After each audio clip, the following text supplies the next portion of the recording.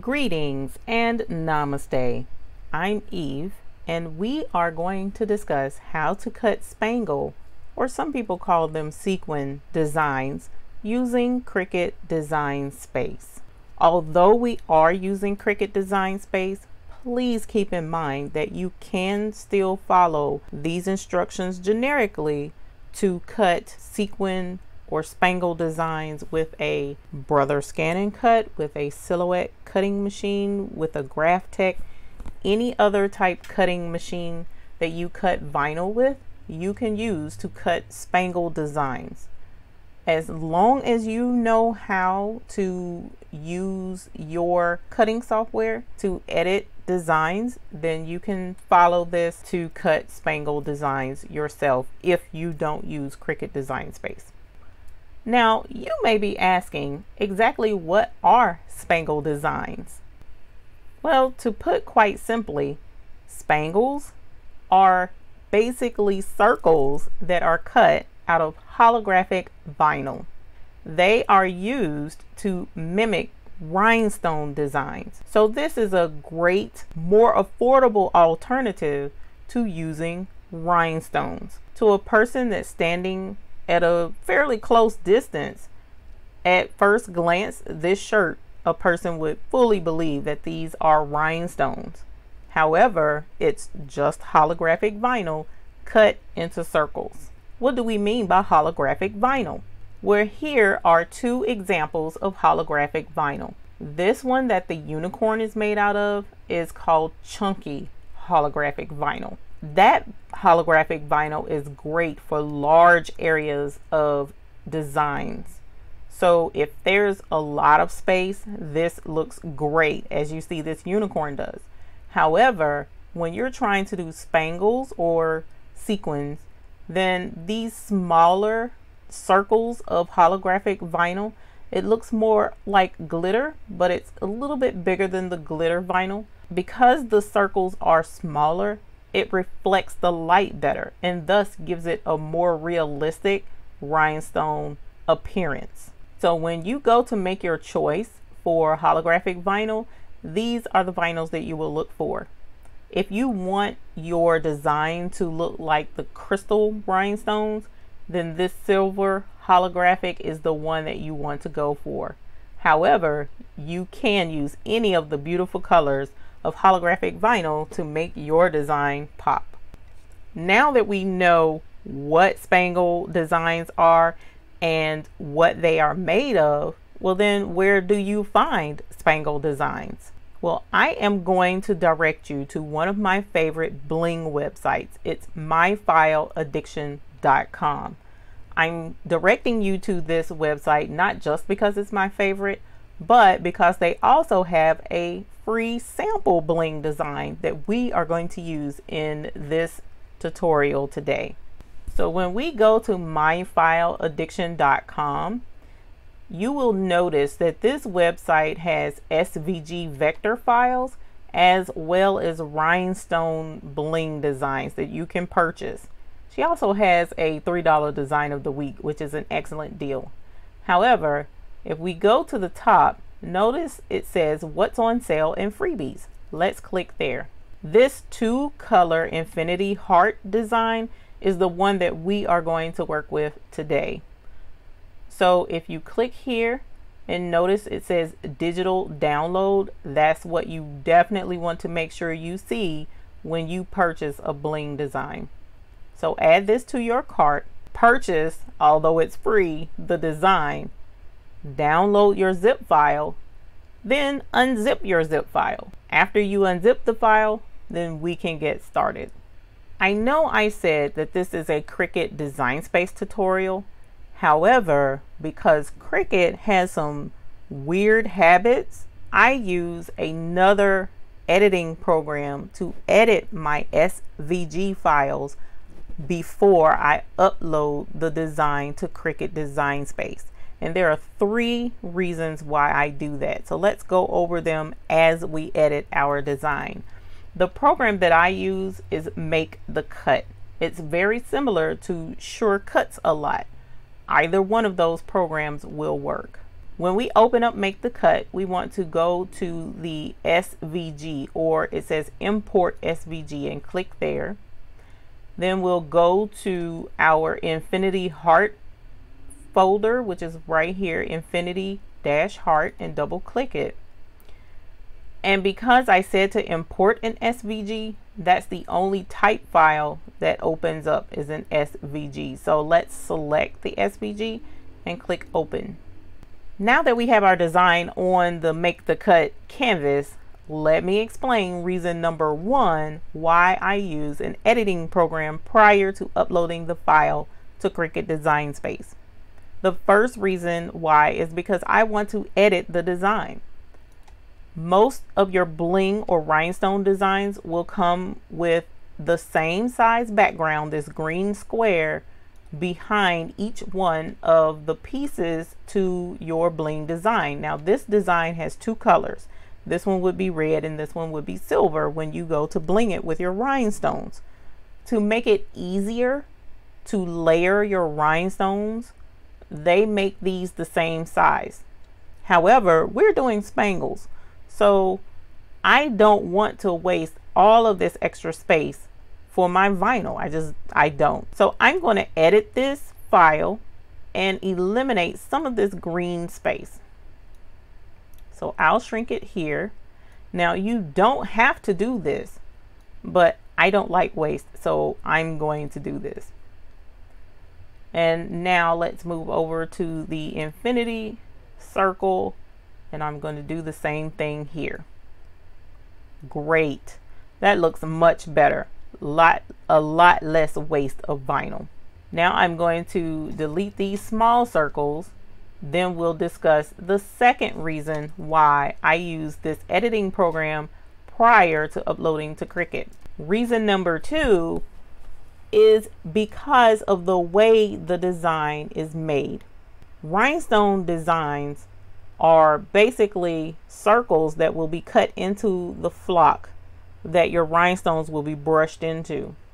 There's the green background, but then notice each one of these are individual circles. So imagine if this design is one square and a hundred circles that make up this design. Well, when you open this in Cricut Design Space, you will have a long list of one green square and 100 individual layers of circles. That's entirely too many to upload into Cricut Design Space. As a matter of fact, if I try to upload that design here, then it will tell me up here this design is really large and it's taking a long time to load. To minimize that long list of layers, I select everything on that part of the design. Then I come down here to where it says join or control J. And I'm sure it's something different on Sure Cuts a lot, but it works the exact same way where you can merge those circles onto this back green background and there you now have just one layer that's going to upload into Cricut Design Space. So instead of 101 layers, now you only have one. That saves a whole lot of time in uploads to Cricut Design Space. So before we move to reason number three, let's go ahead and save this design. So I'm going to select both of them. Then I'm going to go to File, Export, and select to SVG file. That's what I want to export this file as an SVG, a new one. So I'm going to select Infinity Heart because that's what the design is, but I'm going to add Cricut to the end so that I know that this design has been edited by me to fit with the Cricut. So let's hit save. And now it says that it has now been saved as an SVG file. Reason number three why I use this program prior to uploading to Cricut is because if I upload this SVG to Cricut the way it is, Cricut will upload it larger for some reason. I don't know why Cricut does that, but it's very frustrating to me. But that's okay because there is a way to work around it. What you want to do is select the entire design because that's how I saved it as an SVG.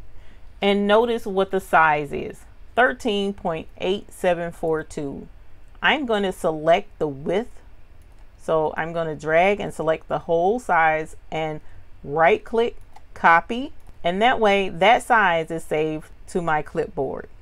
Finally, we can use Cricut Design Space. So let's go over to Cricut Design Space and I'm going to select new. And now we'll upload. So let's upload image. We will browse. And here is our Infinity Heart folder. Notice here is the file I created. The SVG says Infinity Heart Cricut. So I know that's the right one. Select open. Now that we see it here, it didn't take long. Let's hit save. Let's select it on this page and then insert image onto our canvas. This is way faster than if I had not have joined this together and uploaded all of those circles. Notice it's just two files. So now that it's uploaded and it's on our canvas, let's look at the size. Wait a minute and make the cut, the size was 13.8 something. Here it's 17. So you see, for some reason, Cricut uploads it bigger. Let's change that. So we'll go into the width and I'm gonna select and select everything. Make sure your padlock is closed. Right click and now we will paste. That's the correct size. So hit enter and it will automatically resize it to the correct size as long as that padlock is closed. So now this is the size that it is supposed to be when you cut it out. To confirm, you just look at your size here and double check it against the size and make the cut. As long as these larger numbers, 13.8 and 5.7 are the same, you're good. The smaller numbers can be a little different, but the main numbers is what you want to be the same. So now that we have our SVG uploaded, it's at the correct size, there's only one thing we need to change. The heart is one color, the infinity loop is a second color. So when you're doing this in rhinestone templates, the color doesn't matter because it's going to be cut out of the same material. But we're doing spangles. So we need to change this. It comes in grouped. So let's ungroup it. And now the silver, the infinity circle is supposed to be silver. So for the time being, we'll leave that black. But the heart, we wanted it to be in red spangle. So I'm going to change it to red. You don't have to change it to the color is what you're going to cut out, but you definitely want these to be two different colors. And now we'll click make it. And now it is on its own mat. So you can put your silver holographic vinyl here and then you can put your red holographic vinyl here and cut them out. The only other thing you need to remember is this doesn't have to be mirrored because of the type of design, but if it's wording, then you definitely want to mirror it so that your words will be cut out correctly as you would any other HTV design. Before we close, I want to leave you with one really important tip and the really cool thing about spangles. Spangles are different from rhinestones in that if this is going to be cut out in a rhinestone template, I had to make sure that these were the exact same size as the designer intended this design to be because this was created for a certain size stone. So if I made this bigger, with a rhinestone design and a rhinestone template, it would mess me up because I need these holes to be the size of the stones that I'm using. But you guys are using spangles. So when you're cutting the vinyl, it doesn't matter how big it is. Now you definitely don't want to go too small because you're trying to cut those intricate circles in your cutting machine. And if your cutting machine can handle intricate circles, that's cool. But it's better to be bigger in a lot of instances. So you can make these any size you want to be. But you want to be sure that when you resize them, if there is a layer that's going to be over the top or needs to fit in to another part of the design, then you need to resize them together as one to make sure that the size of both are relative to each other because you don't want your infinity loop to be too big for your heart and then it doesn't look right. So you want to size them both together. I appreciate you joining me this evening for this simple tutorial. I know there were a lot of steps involved. When you do this several times, you will get used to it and you will absolutely love it. Now, all of those steps were necessary, especially for Cricut Design Space users. You other guys may not need to go through all of those steps, but this is how I go through the process of cutting out spangle designs using Cricut Design Space. If you enjoyed the video, please give it a thumbs up. I appreciate you letting me know that the video was helpful and that also lets YouTube know that you have found the video to be helpful as well. Thank you for watching our video and enjoy cutting out spangles.